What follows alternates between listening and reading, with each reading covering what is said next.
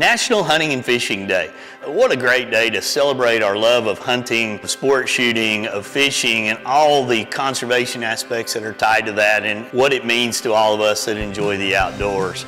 I didn't even think about days like this when I was younger. It was all about how many fish I could catch, how big they were, how big a buck I could shoot, did I get a limit?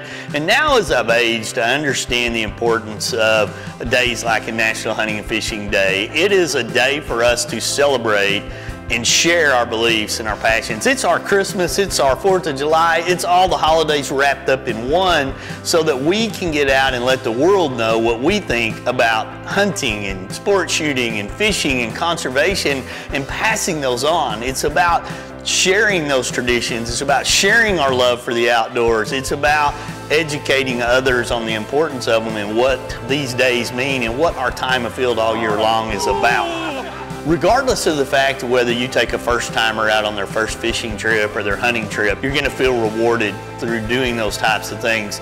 Sharing your beliefs on conservation, sharing your beliefs on hunting, and not bashing other people regardless of what they hunt with or how they hunt. This is a day where we all need to come together. We need to share those messages. We need to talk about the importance of hunting, fishing, conservation, shooting sports, and all that it does and it provides in the outdoors. So I encourage you to take first timers out, take somebody fishing, take somebody hunting, tell them about why it's important, share your messages all across social media. There's a variety of ways to share photos, to hashtag different things. All those are popping up on the bottom of the screen right now and let the world know so that they can see how proud we are, how excited we are, and that we want to share our beliefs, our traditions, and our thoughts on how important hunting, fishing, conservation, and shooting is to all of us.